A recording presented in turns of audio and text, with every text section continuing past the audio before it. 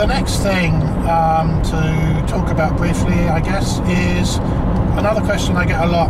Can I use the USB connection to connect my encoder to my Hauptwerk computer? Um, and the answer is no, you can't. The USB connection on the Universal MIDI encoder is only for programming it and for powering it if you want to power it. It does not carry any MIDI data at all. You cannot use that to carry the MIDI signals um, into your computer.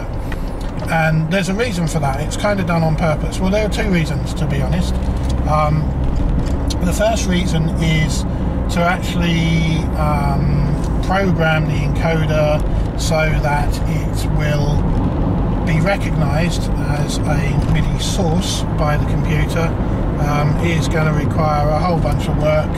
Um, it's going to require a, special driver to be written, um, and quite honestly, as the guy that has to write all this stuff, I didn't see that it was worth the effort. Um, there's probably loads of people screaming at me now saying, "Oh, yes, it is," but there are two issues. The first issue is that the 5-pin DIN um, MIDI standard has been around forever and is just guaranteed to work. If you plug a 5-pin DIN MIDI cable into something uh, or, or, between two bits of kit, you know that they'll work and it just always works. It's no no problem. It's it's universal. It doesn't matter what you plug into it, it's going to work. Um, so I think that's a good idea. Uh, also, its most professional um, musical gear uses the 5-pin MIDI standard. Um, if it uses USB, it will have the 5-pin socket as well. Uh, I've not come across any professional stuff that only has USB sockets. So I think the 5-pin standard has kind of proved itself over the years and it's 100% reliable and that's what I want to go for. The second issue with USB is that you need to be able to program this encoder and so you can use USB to do that, that's how I designed it. But if you want to use the USB for MIDI as well, well, how are we going to tell it which one it's using. Is it, is it programming it or is it supposed to be sending MIDI signals? So then you end up with, well, okay, maybe we should have two um, USB sockets, one for uh, MIDI and one for programming. But it's it's kind of just adding to the cost and, and everything else, and that becomes uh, you know a whole bunch of work again. Um, so my view is that one MIDI um, output is fine. That's the 5-pin DIN. There are lots and lots and lots and lots of 5-pin DIN to USB MIDI devices, converters, adapters, call them what you want, um, available. Uh, now recently, um, I'm filming this in spring of 2019 and um, recently I've had a number of uh, guys uh, and girls um, emailing me saying we've bought these these cheap little MIDI interfaces which, which you recommend from China and they don't work. And in one case there was one poor guy I think he'd tried four or five different um, adapters and none of them worked.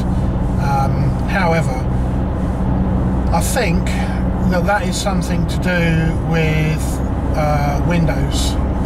Um, that's my guess because I still use Windows 7 um, on all of my musical stuff. And even the ones that I buy now because I bought one or two to check they seem to work fine. Um, I don't actually own a Windows 10 computer so I can't test them on Windows 10 but I wouldn't mind betting Windows being what it is that um, something has changed somewhere along the line recently possibly even an update a Windows update uh, which is what's causing these things not to work because I've been really lucky with them. Um, the you can three dollars from China on eBay, and every time they just work for me. So either I'm a very very lucky guy, or there's something funny going on with the, the newer version of Windows. Now, if that is the case, I guess there are sort of two options really that you can do.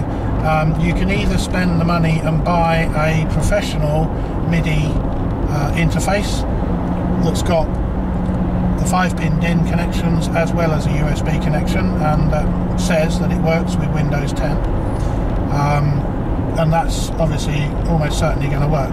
But it's also obviously almost certainly going to cost you considerably more money than one of the little cheap ones that you can buy on eBay. Um, but it's a kind of once in a lifetime purchase and it comes with guarantees and you know all that good stuff.